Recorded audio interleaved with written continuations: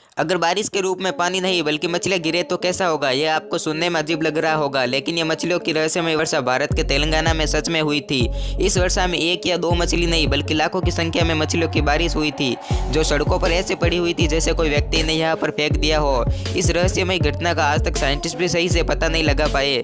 लेकिन कुछ साइंटिस्ट का मानना है कि जब समुद्र में बड़े बड़े बवंडर आते हैं, तब बवंडर की गति इतनी तेज होती है कि समुद्र में मौजूद छोटी छोटी मछलियों को बवंडर ऊपर खींच लेता है जिससे छोटी छोटी मछलियाँ बाउंडर के सहारे से आसमान में चली जाती है।